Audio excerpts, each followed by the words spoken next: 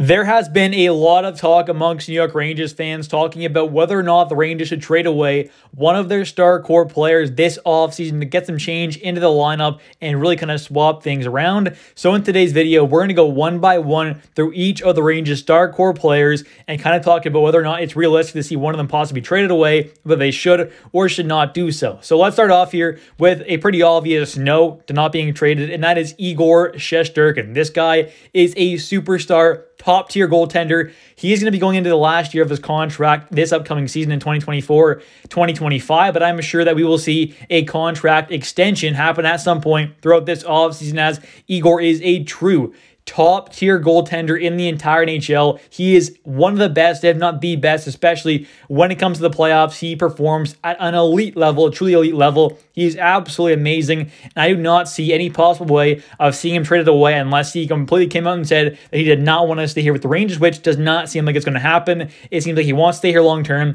The Rangers, I'm sure, want to keep him long term as well because he is such a good goaltender. He is a massive, massive part of this team and a true factor in why this team has made to the Eastern Conference Finals two of the last three seasons. So I do not see Igor going anywhere. I see him being extended at some point throughout this offseason. Next up here, we have another player who is not going to be getting traded, and that is Adam Fox. I think it's pretty obvious there. He is a true top tier caliber defenseman in the entire NHL. He is a Norris Trophy winner already throughout his young career so far. He's only 26 and still has five more years left under team control, locked up with this team with a cap hit of $9.5 million, which for what he brings is not too bad at all. He's phenomenal. Like I said, a top tier defenseman, one of the best in the entire NHL. He's also right handed shot, which just adds a little bonus onto there. I mean, he is just so talented. He's not going anywhere. He is the true kind of number one defenseman on this team. And it is hard to get a true kind of number one defenseman on any team. And the fact that we have one is very, very special. And he's also still very young, still can get better. And although didn't have the best playoffs as he was hurt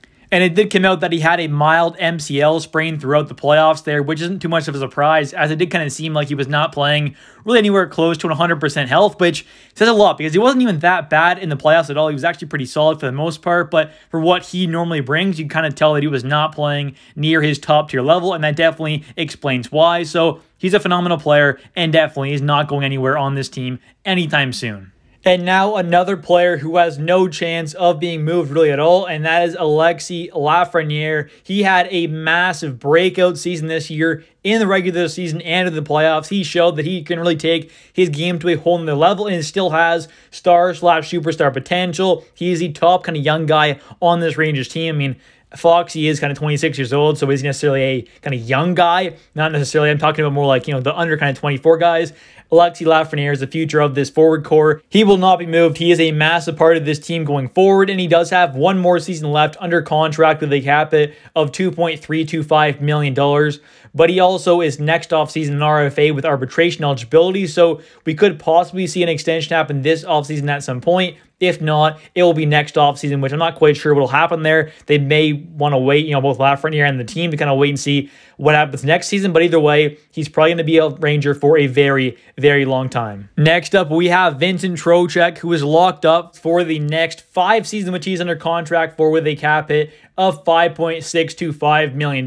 But let's be honest here, this guy is not going anywhere. He is an absolutely phenomenal two way center, plays a great offensive game, a good defensive game, can be a tough player to play against at moments. He's a very just talented all around centerman. He's a big reason why Panarin and Lafreniere had two great seasons this year, and he did as well. I mean, that whole line was phenomenal. He's a big part of that line. He's a massive part of this team going forward. He's still only 30 years old and under contract for five more seasons at a very, very team friendly contract. I mean, this guy should be making more like seven, seven and a half. He's making obviously 5.625. Honestly, he could make an $8 million, and I would not be too against that. So, for what he's bringing right now, his contract's amazing. He's a core player of this team going forward. He seems like a good leader. Honestly, I wouldn't mind seeing him be the next captain if we did see Jacob Trouba leave this offseason or next. I wouldn't be against that at all. This is a fantastic fantastic player who I want to see on this Rangers team for a very long time.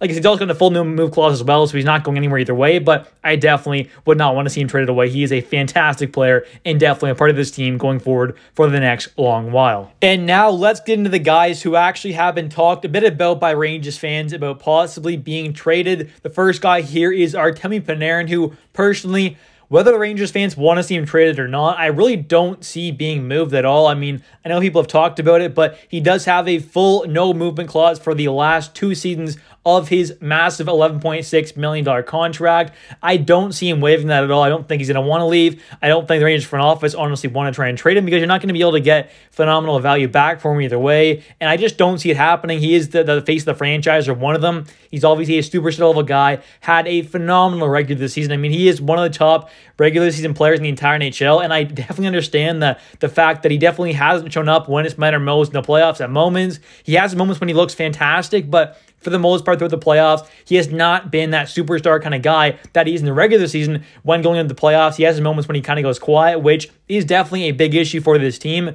We need our star players to show up in the playoffs when it matters most to really try and win a Stanley Cup. And he, along alongside other guys as well, have definitely struggled at times to do that. So hopefully we can see him, you know, take that big step up in the playoffs that he has done in the past in the regular season. Hopefully we can see that go into the playoffs because that's exactly what this team needs. But like I said, I do not see Artemi Panarin being traded away, even if some Rangers fans want to see it happen. He's got two years left. He's going to stay on this team for the rest of that contract. And next up here, let's talk about Chris Kreider, who once again I do not see being traded just like Artemi Panarin. I think he's going to finish his contract as a New York Ranger. He has quite a few records on this team. He's a, a true New York Ranger's been here since his NHL career. Got drafted by this team in the first round a while ago. He's obviously been on this team for a very long time. He's the longest tenured Ranger. He's not going anywhere. He's under contract for three more seasons at a cap hit of $6.5 million. And he does have a 15 team no trade list that can kick in this upcoming July 1st. So maybe the Rangers kind of you know take a look at that, but I don't see it happening. I don't think he's going to get moved here. Although his no movement clause does kind of end here and the no trade clause kicks in with a 15 no team no trade list. I really and truly don't see him being moved. Like I said, he is a lifelong Ranger born likely. He could very well be here for the rest of his NHL career. And I know what happened with Lundqvist there. We kind of thought that was going to happen there. He goes to the Caps for that little stint there, but obviously didn't work out with his health condition. But either way, I think Kreider's probably going to be on this team for the rest of his career. I think he's still a very good player. He has his moments where he is absolutely amazing in the playoffs. I mean, you take a look at that game six there against the Canes there, getting the hat trick in the third period. I mean, that was very, very clutch. He's a very good player, and I just don't see him being traded at all. Although, yes, he does have his moments when he shies away in the playoffs. He's still a very talented player still is a very important part of this team going forward. And the last star core player on the New York Rangers we're going to talk about is Mika Zibanejad. Now, this is a very interesting player. He has moments when he's looking like one of the top forwards in the entire NHL when he's hot, but he also cools off in moments when he's you know not producing much at all. Five on five, isn't doing most of the work in the power play. Even cools off a bit then. So he's an interesting player there. I think he's still overall a very solid player. You know, for the most part, around a point per game. Plays a really good two way game. Good defensively for the most part. You know, good penalty killer. I think is a very solid center. At eight and a half million dollars, I get it. You know, he has six more years left under contract at eight and a half million dollars, but a full no movement clause up until 2029, 2030 in his last year under contract when there's a 21 team no trade list at the deadline. So it's very interesting there, obviously. He's probably not going to get moved. I don't see it happening. He hit the waives no movement clause, which I don't see happening. He's going to be on this team more than likely for pretty much the rest of this contract up until maybe the last year of this deal, deadline possibly. So I don't see him being moved at all. He's going to stay on this team for a very, very long time, more than likely the rest of this contract, whether you like it or not. I understand people wanting to see him moved away because he definitely shies away at moments, especially in the playoffs at times, but he also has done really good in the playoffs at moments as well. So he's a very inconsistent player at times, but definitely is still a very talented player and will be a big piece of this team, hopefully, going forward for the next long while. And honestly, just kind of wrap this video up here. I don't see any of these star core players being traded away. I don't see any of them being moved. I think they're all going to stay here for the next two, three years at minimum. I think these are very talented players still. Some of them, yes, have their deficiencies come playoff time when they go inconsistent there and don't show up for the most part. But a lot of these guys are still very, very good players. I mean, all these guys are still very, very good, you know, top six caliber guys. Most of them are top line caliber players. I mean, Igor Arnett is one of the best goaltenders in the entire NHL, if not the best, especially come playoff time. You can't really find a better goaltender than him. We got Fox. He was a top tier top kind of defenseman in the NHL, one of the best. You can't find much better than that. We got some great forwards here, some young guys as well. I mean, Lafreniere, he's absolutely phenomenal. This is still a very good hockey team. They finished top four in the entire NHL this year. You know, making the conference finals there. Obviously, two teams in each conference finals there. Rangers had a great team this year. Are probably going to lose to the obviously the Stanley Cup winning team and the Florida Panthers there. So not too big of a deal. They're a great team. They obviously are a very tough team. Hopefully, the Rangers can figure out a way to beat these kind of tough teams and really make this team a whole lot better. That's what Chris Drury's job is now this offseason to try and find the right pieces to go around these guys to really make this team a true Stanley Cup winner. Anyways, thank you so much for watching. If you have enjoyed this video, please smash the like button. It helps out the channel a ton. I would really appreciate it. If you are a New York Rangers fan, don't forget to subscribe for daily New York Rangers content as I do post every single day. And also don't forget to comment down below your thoughts on these star players. Who do you want to see moved? Like I said, I don't see them being moved, but let me know your thoughts on these players. What kind of moves you want to see happen this offseason? Thanks for watching. I really appreciate all the support you all show. I'll catch you in the next one. Bye.